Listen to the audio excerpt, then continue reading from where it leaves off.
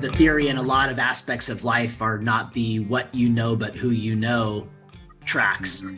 And you know, the the more opportunities you get to know people and have the the desire and the willingness to step forward and, and ask the questions of the things that you're seeking which a lot of people are afraid to do quite honestly but when you when you step forward and you say hey look i, I have an interest in this. Oh you do too. Great. Hey how can we help each other?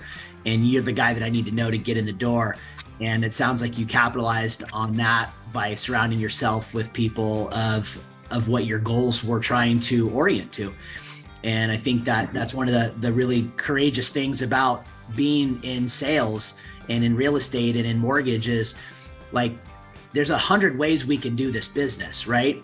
If right. you focus on one thing that you really want to be the master of, and instead of being the jack of all trades, be the master at one, and then the jack of a few others that kind of surround you, you can find great success and be you know able to have a, a longevity career in these professions to give you an example a different example i've got about two very high up uh, private equity guys out of Germany that I work with a lot, and they refer me a lot of business. But what I do is I'm a natural connector, just like Joe, just like you.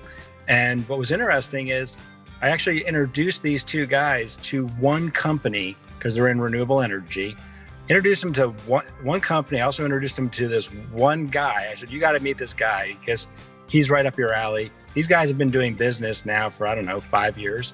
They ended up uh, having two um, uh, IPOs um, and made a ton of money because of the connection I made for them. And now they're doing the same for me.